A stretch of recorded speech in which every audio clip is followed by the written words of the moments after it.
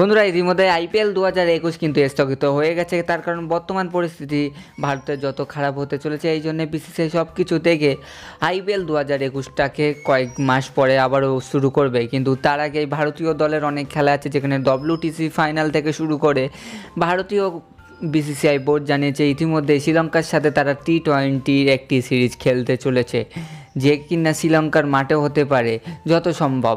সেই T twenty সিরিজে Kolkata night রাইডার্সের ফ্যানদের জন্য আসলো বড় ভালো খবর। তার কারণ সেই টি টোয়েন্টি সিরিজে টিম ইন্ডিয়ার এ নয় টিম ইন্ডিয়ার বি টিম যাবে। অলরেডি আমি একটা ভিডিও বানিয়ে রেখেছি যে ইন ইংল্যান্ড সিরিজ আর ইন্ডিয়া সিরিজের টোটাল বাই কুড়িটি প্লেয়ারকে টিম ইন্ডিয়া এ সিরিজে রেখেছে। তার মধ্যে স্ট্যান্ড বাই আরও পাঁচজনকে টোটাল পঁচিশটি প্লেয়ারকে অলরেডি টিম ইন্ডিয়া এ টিমে জায়গা দেওয়া হয়েছে। আর বাকি যে প্লেয়ারগুলো থাকে, সেই প্লেয়ারগুলোই কিন্তু টিম ইন্ডিয়ার বি টিমের হয়ে খেলবে। তো বন্ধুরা, তোমরা এশিয়া কাপ তাছাড়া ইন্ডিয়া শ্রীলঙ্কার যে সিরিজ হবে, সেই সিরিজে অনেক বড় বড় প্লেয়ারকে দেখতে পাবে। না বিরাট কোহলি, রোহিত শর্মা, শুভমান গিল, এছাড়াও বন্ধুরা রবীন্দ্র জাদেজা জাসপ্রীত বুমরা, মোহাম্মদ শামির মতো বড় বড় প্লেয়ারকে তোমরা দেখতে পাবে না। তার কারণ তারা ছিল টিম ইন্ডিয়ায়।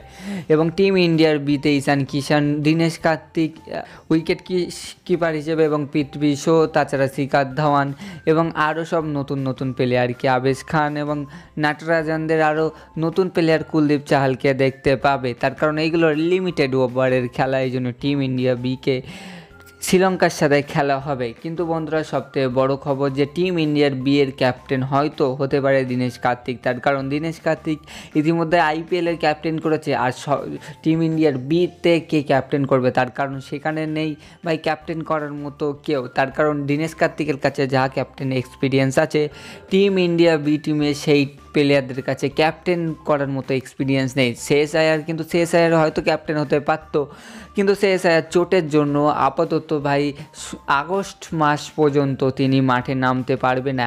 এইটাই বড় খবর। তার জন্যে শেষ আয়ার তো টিম ইন্ডিয়ার বিয়ের হয়ে খেলতে পারবে না। এছাড়া কে এল রাহুল কে এল রাহুল কিন্তু টিম ইন্ডিয়া এর হয়ে খেলবে। কে এল রাহুল ঋষভ পান্ত এরা টিম ইন্ডিয়ার এর হয়ে দেখা যাবে। তাই জন্য টিম ইন্ডিয়া বিয়ের হয়ে আপাতত যেটা শোনা যাচ্ছে, দিনে দীনেশ কার্তিক এবং ঈশান কিষান উইকেট কিপার হিসেবে ভাই হবে, অর্থাৎ যোগ হবে, কিন্তু ক্যাপ্টেন অবশ্যই হয়তো আমরা দেখতে পারি দীনেশ কার্তিককে। তাছাড়া সঞ্জু স্যামসম আছে, কিন্তু সঞ্জু স্যামসমের যতটা আইপিএলে ক্যাপ্টেন করে সাকসেস পায়নি, দীনেশ কার্তিক কিন্তু তামিলনাড়ুরও ক্যাপ্টেন করেছে। অর্থাৎ দীনেশ কার্তিকের কাছে ক্যাপ্টেনের এক্সপিরিয়েন্সটা আরও বেশি আছে আইপিএলে কলকাতা নাইট রাইডার্সের হয়ে।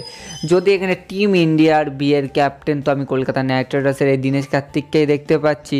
সেভেন্টি ফাইভ বা সেভেন্টি পার্সেন্ট আর অন্যজন হলে কোনো ভাই কথা হবে না। তো দেখা যাক কি হয়। এরমটা যদি হয় তাহলে অবশ্যই বেরন ম্যাককালাম চাইবে কলকাতা নাইট রাইডার্সের যে বাকি ম্যাচগুলো আছে। আইপিএল দু হাজার একুশে সেই ম্যাচগুলিতে দীনেশ কার্তিককে ক্যাপ্টেন করা হওয়া উচিত। তো বন্ধুরা, তোমাদের মতে কি বলে? নিচে কমেন্টে জানাও। এটা একদম অফিসিয়াল আপডেট না। এটা শুরুর দিকে আপডেট এটা তোমাদেরকে বলিয়ে দেয়।